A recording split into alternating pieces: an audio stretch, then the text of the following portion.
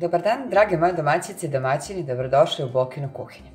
I evo danas ćemo napraviti jedan lep e, kolač. Inače, ovo je kolač bez jaja i brašna.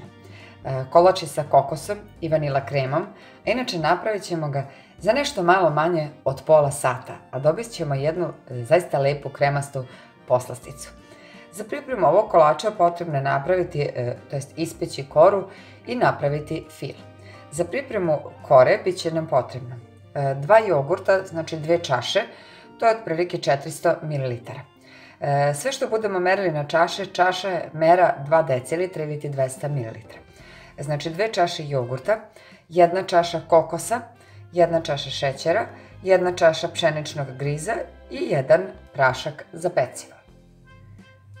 Kada budemo koru ispekli, koru vruću ćemo preliti sa prelivom.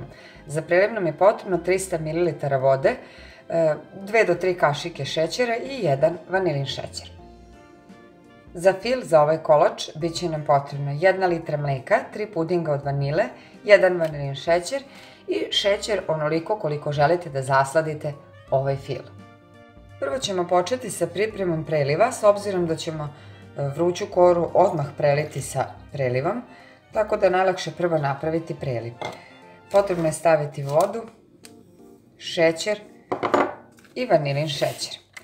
To je sve potrebno ostaviti e, da provri i od momenta ključanja neka vrije još jedno 5 minuta, najviše 10 da dobijemo onako malo gušći sirup. I sada ćemo početi sa pripremom e, kore. Stavit ćemo jogurt, odmah u čini u kojoj ćemo mutiti. Ovdje vam i ne treba mikser, ali ukoliko vam je lakše sa mikserom možete raditi, ali zaista nema potrebe, kao što rekao, nema ni jaja, ni brašna. Jogurt stavljamo. Odmah ćemo da dodamo u jogurt šećer. Vrlo malo ćemo sada to izmešati. Potom ću u griz da dodam prašak za pecivo s obzirom da nemamo, kao što rekoh, brašno.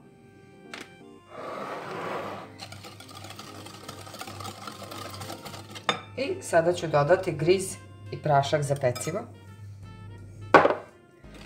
Dobro smesu izjednačiti, naravno ne smete imati grudvice. Ukoliko niste sigurni i vešti u ovome, možete slobodno koristiti mikser.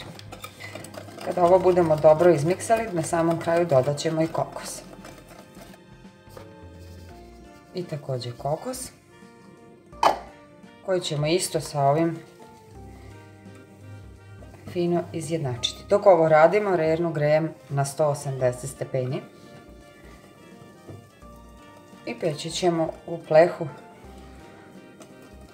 koji je potrebno malo nauljiti posuti sa brašnom. Dobro izjednačite, kao što rekoh, ne sme nam smesa imati grudvice. Ja koristim standardni pleh 33 x 20 i kao što sam rekla, malo nauljiti, posuti brašnom, višak brašna izbaciti i ovu smesu još jednom dobro ovako promešati i sipati je u tepsiju.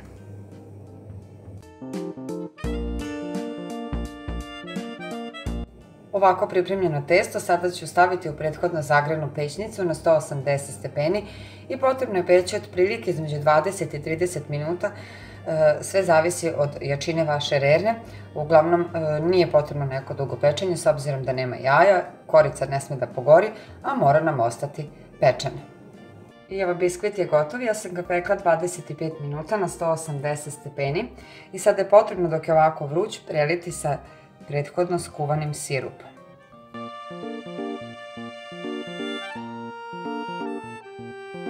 Od litre mlijeka potrebno je odvaditi bar ovako 200 ml u kojoj ćemo izmutiti prah za puding.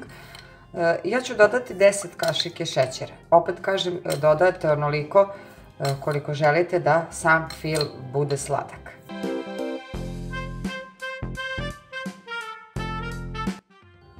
U to ću dodati odmah i vanilin šećer jedan i staviti mlijeko da proključa. Dok mlijeko vrije, sjedinit ću puding sa mlijekom.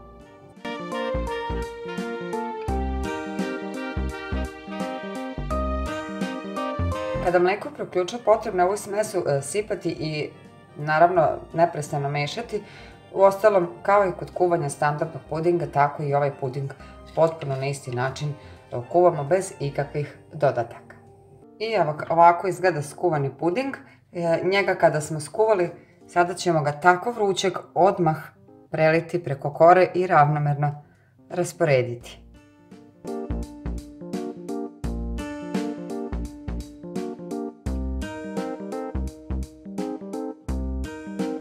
I ovako pripremljen kolač, sada je potrebno ostaviti da se on dobro ohladi i kada se bude dobro uhladio, umutit ćemo jedan šlag i od gore e, preliti, to jest glazirati. E, međutim, umjesto šlaga možete koristiti također slatku pavlaku, ali da bi sve to uradili, e, kolač, kao što rekoh, mora da bude potpuno hladan.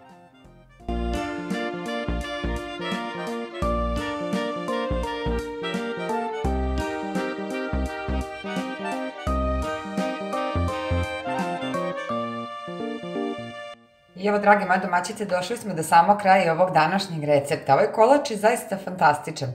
Kada se dobro ohladi, e, kao što sam to i rekla, e, možete od gore staviti slatku pavlaku, možete šlag. E, zaista je jedan lep kolač, gdje eto ne moramo da ga pravimo sa jajima i brašnom. Kada sam prvi put dobila ovaj recept, bila sam i ja zaista skeptična kako napraviti kolač bez jaja, bez brašna, neka osnova za kolač ali kada sam ga napravila, verujte mi da sam se oduševila svaki put kada mi se jede nešto na brzinu, a nemam u datom momentu ništa slatko, ja napravim ovaj kolačić. Veoma brzo se pravi, e, a nije ni puno sladak, a sočan je. E, pogledajte kako je kora sočna, e, prosto je rastresite. Ne bi nikada pogodili da unutra nema ni jaja, ni brašna. Jedan lep kremasti kolač.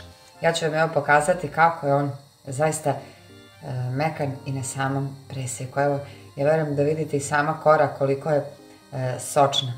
E, kombinacija vanile sa kokosom daje onaj potpuni ukus.